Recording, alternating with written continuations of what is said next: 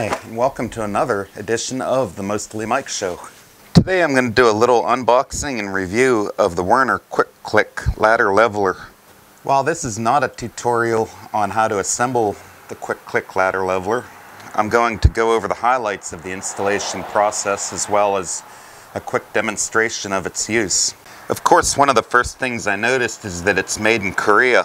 I'm not a huge fan of buying things made overseas, but I do like Werner's ladders and equipment, and I'm not sure that any company makes an American-made version of this kind of a device, so I guess I can let it slide this time.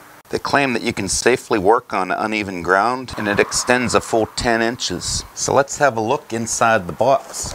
Looks like we have two strips of foam tape. Not sure what they're for. Looks like an installation manual, operating instructions. There's a left shoe and a right shoe. I guess these are what actually is going to get attached to the ladder. And a couple more foam strips. We have the ladder leveler itself, everything seems to be pretty well made. There's a pack of uh, hardware. They include a 5 millimeter Allen wrench, and then there's some super glue. There's a few tools required for installation. A drill, an 1132nd bit, a marking pen, a 5 millimeter hex key, or Allen wrench, meet Allen wrench, and a half inch wrench, or socket, and a center punch. And I always like to use one of these little parts dishes with a magnetic base on them so I don't lose any parts. I'll just empty the hardware box in there. And like I said, I'm not going to get too crazy with the installation, but there's a couple highlights here that I wanted to point out. And you have like four different types of construction that your ladder is made out of, which mine happens to be the direct swage construction with bracing, which looks like this here. And you got the little pivotal feet and that aluminum C-channel looking thing at the bottom. And there's a different instruction for each type of ladder. Um, so I'm going to turn the page here. There's the direct swage construction. And they give the whole layout for uh, where you have to drill and it says in the instructions you repeat it on the opposite side. Right from the beginning I found that it's probably going to be advantageous to use like a combination square such as this. So when you're looking to find center, if you, um, instead of just trying to measure across and do the math, if you make a diagonal measurement and you get a known measurement like here, in this case it's like four inches, and then you just mark it on the two. And that's, your, that's the center of your uh, ladder.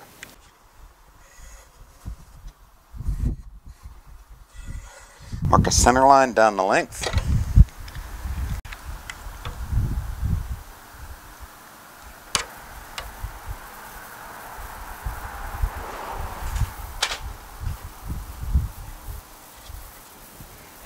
And that's for the left side, so I'm just going to take my shoe and make sure that my marks coincide with it. And everything seems to be lined up. Mark it with a center punch.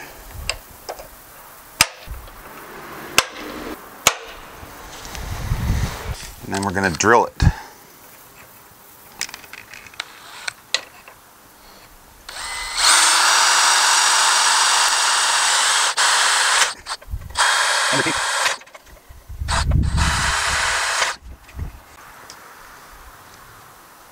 And they want you to glue these with with a super glue.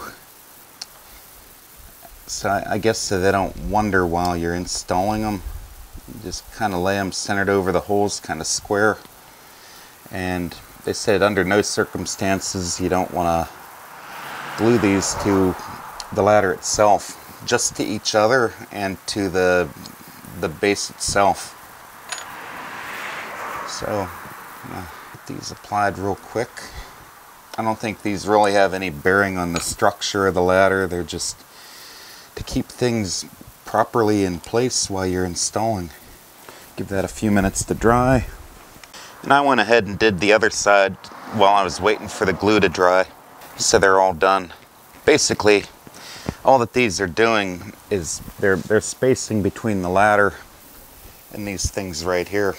They're they're actually making a space between, you know, so that they're it's not teetering on that when you tighten it down. Make sure you're extra careful when you use the super glue because that stuff will bond skin instantly. And I, I was reading into the instructions. These foam things are actually made for a different model of ladder, a different type of ladder. So we're not going to be using those at all. And this instruction actually isn't even calling for these um, these little stainless washers that are in here. I, I, they include for whatever scenario you have, but for this one, all that they're asking for to mount is um, on each side you need three of these inch and a quarter uh, fender washers and three locking nuts. So we're back here at the ladder. Um, you're going to take the end marked up and it's going to point up, like up the ladder.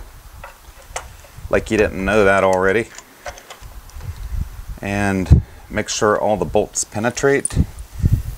And then we're going to stick our washer with a lock nut on the bottom side and tighten it up.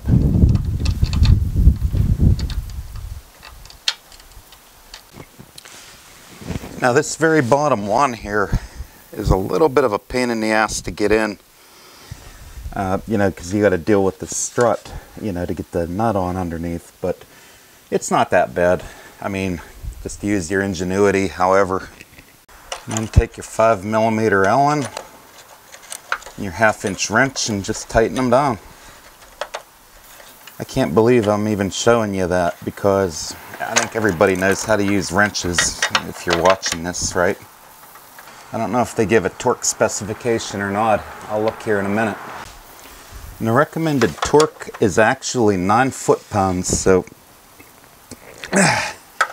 9 foot-pounds. Click. There it goes. And we're going to just repeat for the other side. Flip our ladder over. Now to put this thing on, uh, the, the, uh, the main unit, all you have to do is just line these up, push down. You'll see that the top one has a little, like a spring release on it. And you basically just shove it forward, your safety pin in, she ain't coming out. And then,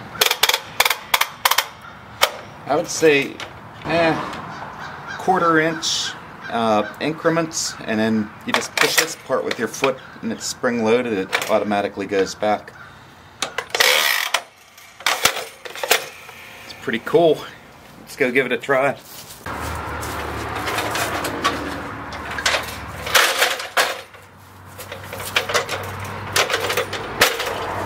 Okay. So we have it on a piece of level ground and I'm gonna make it unlevel so I'm going to take this cinder block.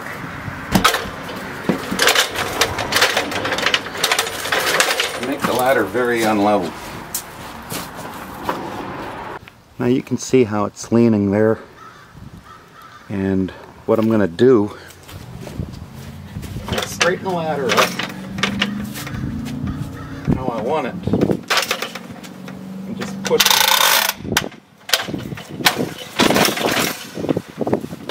we have a straight ladder. Solid.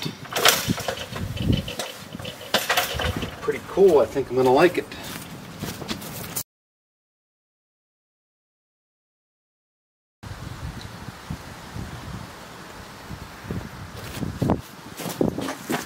And to release, just push this. Got to take the load off of it. Or use your finger. Pretty much it. My final thoughts on it, there's really not much to not like about it. I have a lot of siding to hang up and I want to be safe about it. And being safe means having a stable ladder. I would believe in just about any application you're invariably going to have you know, a few extra parts left, which could probably be used for something. Uh, I'm definitely not going to throw them out. Um, as I stated in a lot of other videos, I'm a pack rat by nature, so that'll end up in an organizer somewhere.